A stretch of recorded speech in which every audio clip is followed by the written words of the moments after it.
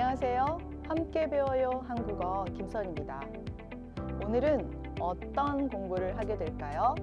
대화문을 잘 들어보세요. 시작합니다.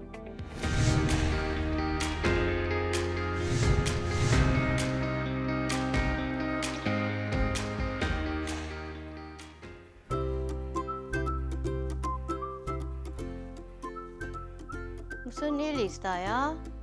얼굴 색이 안 좋아요. 요즘 고향에 있는 가족이 보고 싶어서 그런지 잠이 잘 안 와요. 아, 향수병인가 봐요. 향수병이요? 저처럼 향수병에 걸린 적이 있어요? 있지요. 그럴 때 저는 고향 음식을 먹으면 괜찮아져요. 어제도 먹었는데 괜찮아지기는커녕 고향에 더 가고 싶어졌어요. 고향에 다녀오면 좋지만 안 된다면 고향 영화나 방송을 보세요. 고향에 가고 싶지만 먼저 고향 방송을 찾아봐야겠네요. 향수병인가 봐요.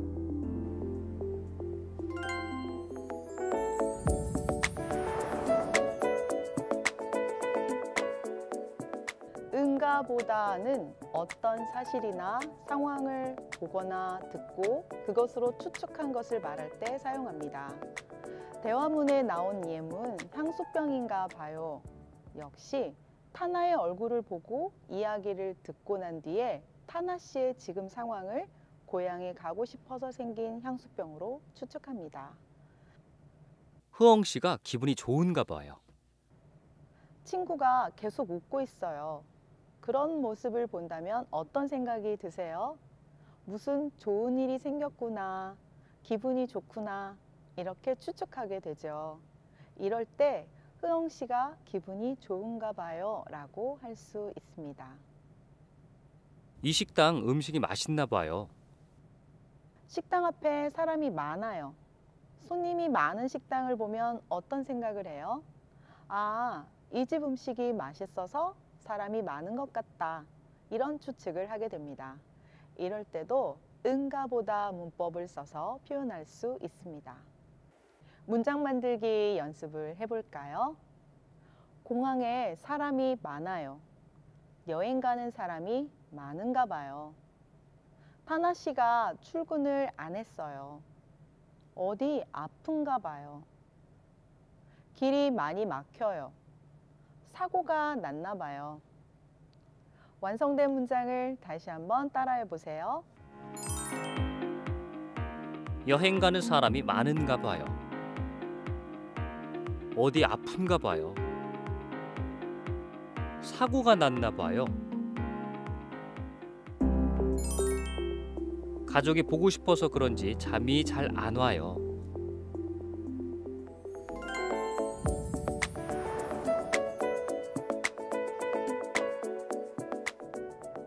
아서 어서 그런지는 어떤 일의 원인이나 이유를 추측할 때 사용하는데 주로 글보다 말을 할 때 사용합니다. 대화문에 나왔던 문장 가족이 보고 싶어서 그런지 잠이 잘 안 와요. 이 문장에서는 잠이 안 오는 이유를 분명하게 말하지 않고 가족이 보고 싶어서 라는 이유를 나타내는 표현에 그런지를 더해 아마도 그렇다고 이유를 추측하는 표현으로 썼습니다. 휴가철이어서 그런지 호텔을 예약하기가 어렵네요. 휴가철에는 관광객이 많이 옵니다. 당연히 사람들이 많아지면 호텔이나 식당을 이용하는 사람들이 많아지겠죠? 예약하기도 쉽지 않을 거예요. 사람들이 많이 오는 휴가철이어서 그런 것 같다는 추측의 의미가 들어간 문장입니다. 빌리는 성격이 좋아서 그런지 친구들이 많아요. 빌리는 친구가 많은데 그 이유가 여러 가지가 될 수 있겠지만 성격이 좋아서 그런 것 같다는 추측의 의미를 표현할 때는 성격이 좋아서 그런지 라고 쓸 수 있습니다. 매일 연습을 해서 그런지 발음이 좋아요. 어제 등산을 해서 그런지 다리가 아파요. 매운 음식을 먹어서 그런지 배탈이 났어요. 날이 더워서 그런지 찬 음식이 먹고 싶어요. 다시 한번 따라해 볼까요? 매일 연습을 해서 그런지 발음이 좋아요. 어제 등산을 해서 그런지 다리가 아파요. 매운 음식을 먹어서 그런지 배탈이 났어요. 날이 더워서 그런지 찬 음식이 먹고 싶어요. 괜찮아지기는커녕 고향에 더 가고 싶어졌어요.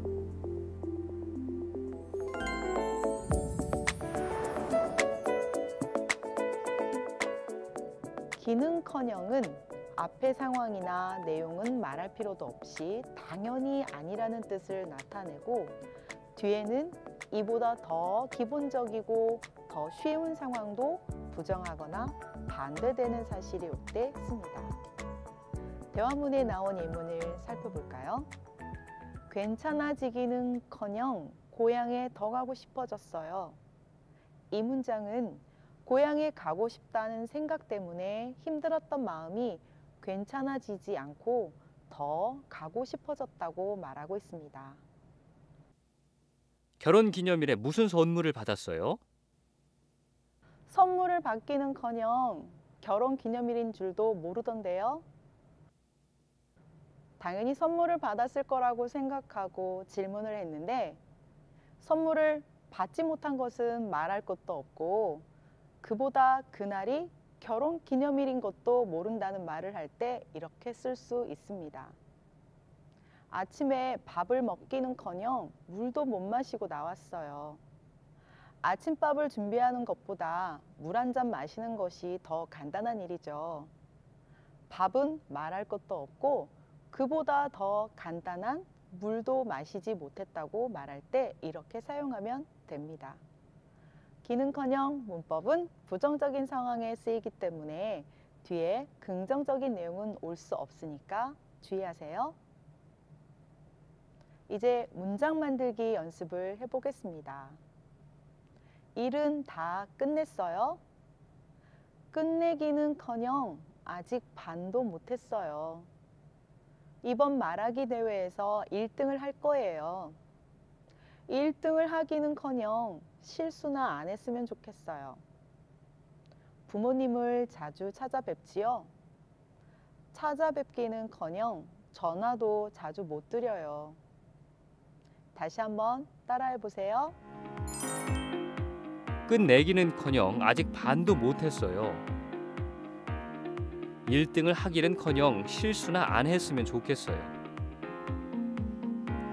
찾아뵙기는커녕 전화도 자주 못 드려요.